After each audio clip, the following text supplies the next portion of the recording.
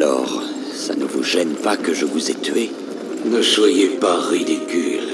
Le roi Lich m'avait dit que notre rencontre finirait ainsi. Le roi Lich savait que je vous tuerais? Bien sûr. Il vous a choisi pour champion longtemps avant que le fléau commence. S'il est tellement omniscient, comment les seigneurs de l'épouvante peuvent-ils le contrôler ainsi? Ce sont les agents de ceux qui ont créé notre maître. Les fiers seigneurs de la Légion ardente.